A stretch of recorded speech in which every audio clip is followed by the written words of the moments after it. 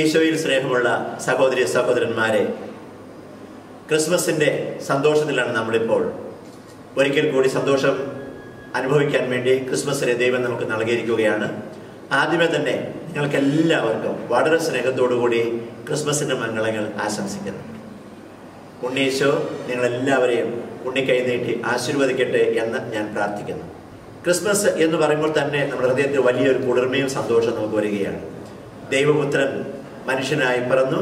ലോകത്തിലെ മനുഷ്യർക്കെല്ലാവർക്കും രക്ഷ നൽകുവാൻ വേണ്ടി പാപത്തിൽ മുഴിക്കടന്ന് നരകത്തിന് അടിമയായി കിടന്ന മനുഷ്യകുലത്തെ രക്ഷിക്കുവാൻ വേണ്ടി അധപതിച്ച മനുഷ്യകുലത്തെ രക്ഷിക്കുവാൻ വേണ്ടി ദൈവം തന്റെ പുത്രനെ ഈ ലോകത്തിലേക്ക് അയച്ചു.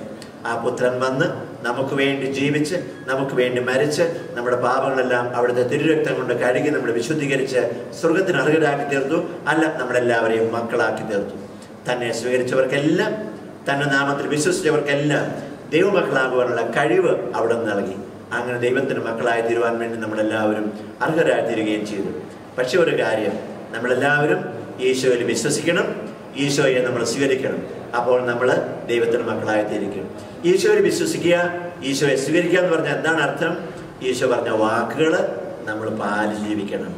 ഈശോ പറഞ്ഞ ഉപദേശം നമ്മൾ അനുസരിക്കണം. അങ്ങനെ വിശുദ്ധരായി ജീവിക്കുകയും എല്ലാവർക്കും സ്നേഹത്തിന് ശുശ്രൂഷ ചെയ്തുകൊണ്ട് ലോകത്തിന് പ്രകാശമായും ഭൂമിയുടെ ഉപ്പായി നമ്മൾ ജീവിക്കുമ്പോൾ ക്രിസ്മസ് നമുക്ക് അർത്ഥമായി ആയിത്തീരുന്നു നിങ്ങൾക്ക് എല്ലാവർക്കും ക്രിസ്മസിന്റെ ഈ നല്ല അവസരം അനുഗ്രഹപ്രദമാകട്ടെ എന്ന് പറയാൻ വേണ്ടി ആഗ്രഹിക്കുകയാണ്.